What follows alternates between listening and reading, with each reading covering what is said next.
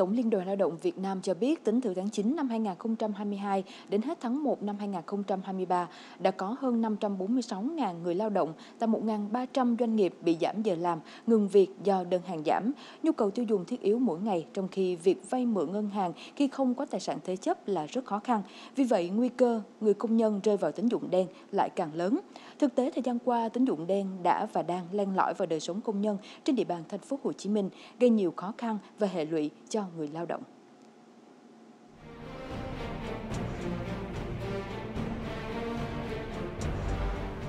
Cái tín dụng đen á, lúc nào nó cũng kè cận xung quanh mình vậy nè, nên mình nhìn là mình thấy nó liền không cần phải suy nghĩ luôn á. Mình liều quá, mình túng quá là mình vay lãi mẹ đẻ lãi con, nó bay một căn nhà luôn, phải bán nhà. mình Thực tế trong tay chừng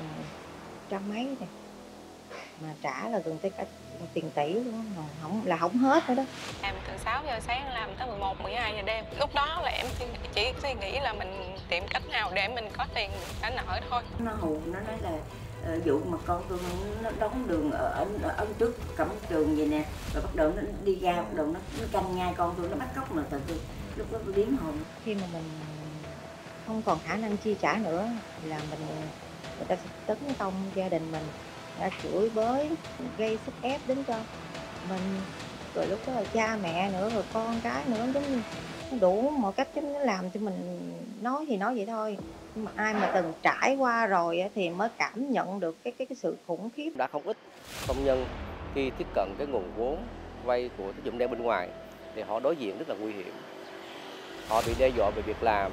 họ bị đe dọa về đời sống của họ tại nơi nhà trọ họ ở. Rất là nhiều hình thức và hiện nay có nhiều hình thức rất là tinh vi. Có công nhân mình cần vốn thì không nghĩ tới lãi suất cao mà cứ càng trước mắt để lo công việc trước mắt mà không phải biết rằng là khi mình mình đã lỡ vay rồi là không còn khả năng nào khác là mình phải buộc nghỉ việc hoặc là phải rời bỏ địa phương đi thôi.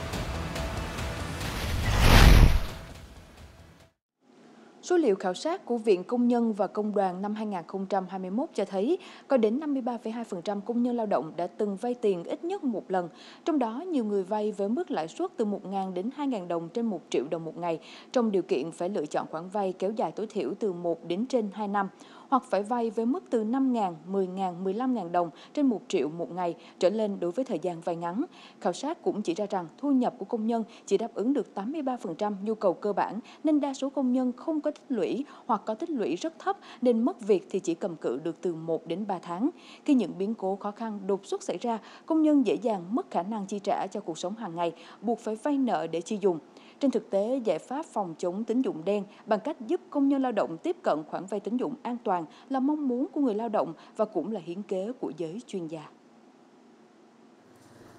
Từ nguồn vốn vay được của tổ chức tài chính Vimosep, Liên đoàn Lao động thành phố Hồ Chí Minh với lãi suất hỗ trợ, chị Hồng Hoa đã trả hết khoản nợ vay từ các nguồn tín dụng lãi suất cao bên ngoài, đồng thời tiết kiệm được một khoản nhỏ đủ để trang trải chi phí khám chữa bệnh đột xuất cho con.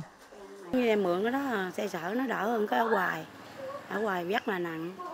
Cho mượn nó phần trăm cũng rất nhẹ hiện nay thì tổ chức tài chính Vimosep cũng có những cái hình thức phối hợp mới và là hình thức phối hợp với chủ nhà trọ. Tập hợp cái danh sách mà những người công nhân có nhu cầu vay vốn thì tổ chức tài chính Vimosep kịp thời uh, hỗ trợ vốn cho người lao động mình. Thì từ đó thì đã giúp cho người lao động là có được đồng vốn và trang trải cũng như là làm ăn học tập chữa bệnh. Thoát nạn tín dụng đen sau hơn 10 năm, nữ công nhân này đã bớt áp lực túng quẫn khi tài khoản tiết kiệm được mở từ nguồn vốn vay của sếp đã có số dư. Chị vay 50 triệu thì một tháng sẽ để dành trong đó được 500 ngàn.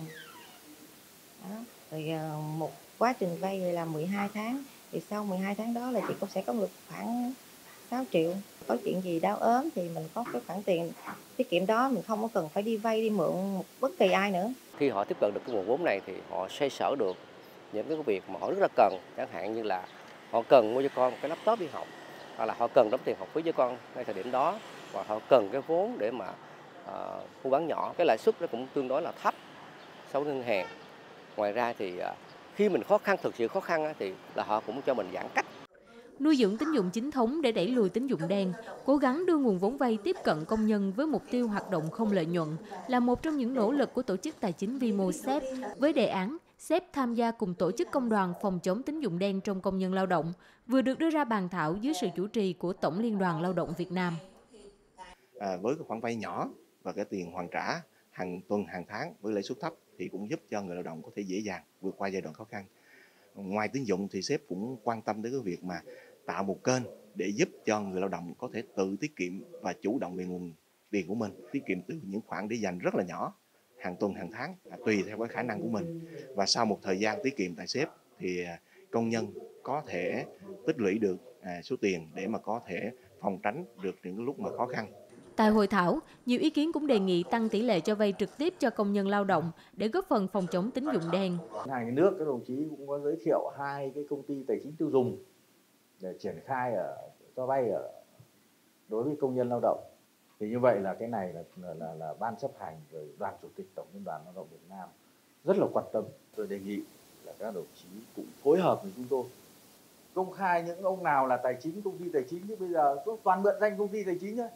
chỗ nào công ty tài chính cho nên là người lao động của chúng tôi có trình độ mà còn không phân biệt được thì người dân làm sao phân biệt được cho nên cái tín dụng đen nó cứ bị lẫn như thế Thưa quý vị, để tín dụng đen không bủa vây người lao động, rất nhiều giải pháp căn cơ được chuyên gia và ngành chức năng đề xuất. Nhưng yếu tố tiên quyết vẫn là bản thân người công nhân cần được trang bị kiến thức để tránh bị lừa đảo. Tìm đến cơ sở uy tín để được hướng dẫn thủ tục vay khi gặp khó khăn. Có thể hỏi tổ chức công đoàn cơ sở của doanh nghiệp, hiệp hội doanh nghiệp nhằm kết nối những địa chỉ cho vay tín dụng mang tính chất hỗ trợ.